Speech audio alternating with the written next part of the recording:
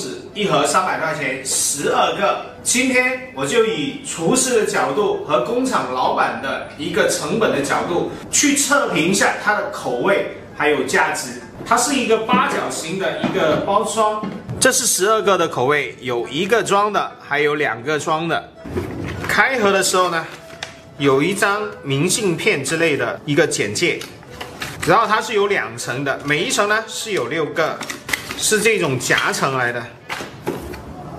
看起来的造型呢还是蛮大气的。我们每一个口味都试试一遍。首先呢，先把粽子进行蒸制。这种呢是一种耐高温的铝薄膜来的，怎么蒸它都不会坏。你也可以把它放到水里面，水的导热效果会更好一些。我们平时如果是蒸三十分钟的话，水煮十五分钟就可以了。我们这个蒸大概二十五分钟到三十分钟左右。这种铝箔呢，你看到没有？我蒸了三十分钟，它完全都没有变形。我这种加热的方法呢，可以更好的保持粽子的完整性。如果你们是在家里面的话，要撕开这个袋子放去蒸制。这里肯定会有一些烹饪小白会好奇，为什么粽子放到这种真空袋里面，它可以保存半年或者一年以上？其实这个粽子呢，它是煮熟以后。再进行一个高温炉的高温杀菌。现在这个粽子呢，它是在一个无菌的状态下，所以说它可以保存半年、一年，甚至有一些更长的话，一年半都没有问题的。现在我们就来品尝它的美味吧。这个呢是偏湘西风味的那种，它的这种腊肉呢是采用湖南的那种腊肉去做的。这个打开的话会有一点点的散。很浓烈的一个烟熏猪肉的一个味道，这种感觉有点像香味米饭的那个感觉，但是的话，它加了糯米的话会比较黏口一点。我个人不是很喜欢这种烟熏味的，但是的话味道，嗯，中规中矩吧，也不会说很难吃，只能说是我个人的口味。大家看到没有？我现在吃的话，它是吃不出一个完整的粽子，不知道是不是我刚才加热的那个方式错误了。或者是这个粽子它比较散一点，如果是我们南方的一些粽子的话，我们随便都可以轻松的把它剥开的。这个呢就是第二款的粽子，它明显呢是可以更好的剥下来。现在我们试吃的是第二款沙茶蛋黄牛肉。我还以为没有蛋黄，它的蛋黄呢没有包到中间，这个就是包的工艺可能和我们的是不一样的。这个味道呢，我就相对比较喜欢，因为南方口味嘛，沙茶酱的，它还有一点点的笋干，吃起来呢脆脆的。这个呢就是非常经典的猪肉板栗，但是呢这个。板栗呢没有挑，峰哥你你知不知道？但是呢这一种呢不影响食用，只是说没有这么好看。嗯，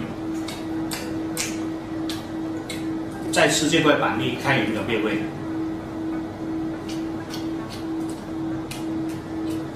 板栗是完全没有问题，没有变味，只是说没有那么好看而已。这个也是我相对比较喜欢的。这个呢？它就有点类似于什么呢？类似于嘉兴粽子那种感觉，有一点点偏甜口。这个就是干贝 S O 酱腊肠粽子，这个应该会很好吃，因为用了我非常喜欢的港式腊肠干贝在这里。S O 酱的话应该是多碎了，这种呢是我们国产的小干贝，我们单独吃一下这个干贝。这个干贝呢，他们有经过泡发，只是进行了一个清洗以后，能明显吃出来有一点点的那个腥味。但是呢，我觉得恰恰这个腥味呢，可以更好的保留住原贝本来的味道，能明显吃出来有那个 S O 酱风味。这个呢，相对来说它的干度会比较干一点点。有时候粽子的干湿度不是因为你煮制的问题，而是因为你用的食材。它本身的含水量高不高？因为干贝它本来是干的，会抢去糯米的一个水分，蛮好吃。这款也是我比较喜欢的一款。我现在吃的这一款呢是陈皮豆沙，打开粽叶呢，这个就很明显的一个陈皮的味道扑面而来。嗯，甜粽子呢，我以前是不吃的。自从我去了北方上班以后呢，我逐渐逐渐的是吃一点点的甜粽子。以前我真的是一点都不吃的，在我的印象里面，粽子就是咸的。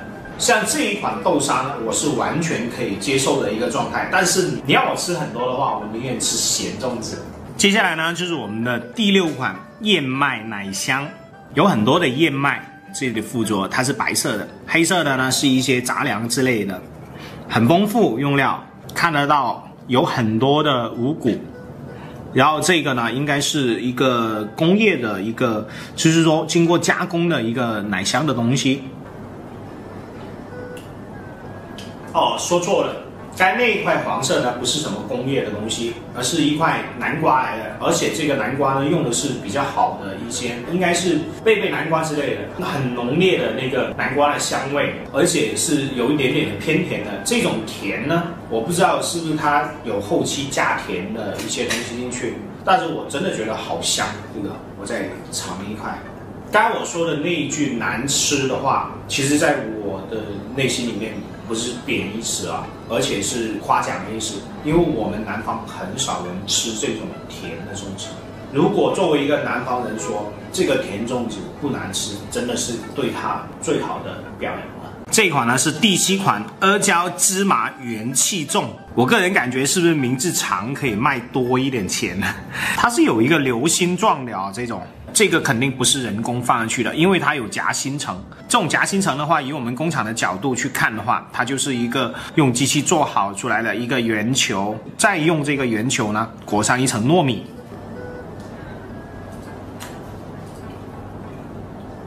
这款呢，我个人不喜欢，就是没煮够时间，有一点点的硬，不知道是不是怕这个内馅煮了太久会爆开的原因，还是有点点偏硬的。就没有全家团那个甜粽那样子那么糯口，粽子嘛，粽子嘛，我们吃的就是有一点点嚼劲起来呢，还有一点点的糯口，也不能说完全要很稀的那种状态。接下来呢，就是最后一个了，应该也是所有的粽子里面用料看起来的用料是最贵的一款，有干贝 S O 酱啊，然后鲍鱼啦，黑猪肉啊，做出来粽子，其实有很多人不知道用。黑猪肉做出来的粽子呢，它的化口性会比较好，肉味、脂肪味非常非常的香。一些高端的代工厂呢，或者一些高端的酒楼呢，都是用伊比利亚的黑猪去做粽子的。包括你看绍兴啊、杭州那一块是高端的粽子，都是用伊比利亚的猪去做粽子。因为为什么我知道呢？我接触的冻品会比较多，有很多人就是用这个去做的。这个呢和刚才的 S O 像腊肠那个有一点点的像，我们来打开里面看一下。来，我们看表面，这里呢是一颗干贝来的。这个是鲍鱼吗？哦，这是鲍鱼，我以为是那笋干呢。这里呢应该是一块伊比利亚的黑猪，它其实还有肥肉的，其实肥肉已经融融入到了这个粽子里面。我们先来尝干贝，然后这道猪肉鲍鱼。干贝呢，还是刚才那个制作工艺用的干的，没有经过泡发的干贝放上去。猪肉，猪肉会明显比较香一些。接下来就是整盒粽子里面看起来最高端的鲍鱼。鲍鱼呢，它经过发制，经过一个简单的煮制而已，它没有说放去像鲍鱼。罐头那种或者鲍鱼那种经过扣的，但是它没有什么腥味。有很多人可能会觉得那个鲍鱼的话会不会很贵？其实我告诉你，大概在一块五左右到两块五左右就可以把那个鲍鱼拿下来了。相对来说，真的没有那么贵，只是在粽子里面可能会增加一个噱头。如果你说好吃到哪里呢？我个人觉得我妈妈包的是最好吃的。所有的粽子都吃过了，我们现在就来做一个简单的总结。我从厨师的角度去点评一下这八款粽子里面，我个人感觉没有说哪一款粽子是难吃的，只是说有一些的话，我个人感觉口味不一样。我不喜欢那个口味，但是有很多一些，比如说刚才那个有一些烟熏味的那个粽子的话，可能有一些地方是比较喜欢的，但是呢，它做出来的味道呢还是不错。这八款呢，对我印象最深，我自己特别喜欢的一款呢，就是蛋黄猪肉那一种传统的口味。然后从工厂的角度，我自己本身就是老板，我知道它的成本大概去到哪里。有些东西我们不能以单单以成本去决定最终的价格，有时候还要考虑到一个产品的故事、广告、包装、原料。我们就单单以原料来说吧，如果是我们工厂来做的话，原料的成本可能是在三到四十左右的一个原料成本。如果再加上包装的话，如果是真正的工厂出品的话，大概是在七十块钱。当然这个是要挣钱的。如果是批发的话，这一盒粽子的话，我们一般的话都是在九十块钱左右。这一盒粽子，因为为什么呢？这个包装有很多人觉得很漂亮，是吧？这个包装，我跟你们讲，光光这个包装三十块钱。有很多人不能理解，我这样子告诉你，有一些产品是包装比原料贵的，特别是我们这种送礼的一些节气上的包装，会比原料本身的要贵。而且屏风呢，他也不会自己去做种植，他只能说叫别人帮忙做，他可能会出一个镜，然后他背后还有公司，可能到他的手的话也没有那么多，这只是我一个猜测啊。如果有哪里说的不对的话，多多包涵，多多包涵。至于这款产品的价格的话，因人而异吧。如果你是想送高端一点的话，也有一点名气，大家都懂的话，我觉得这款也是不错的一款选择。说一千道一万，还要最终看口袋，而且要看你送的是什么样子的人。好了，今天的测评就到这里。如果大家想看我什么测评的话，可以打在评论区下面。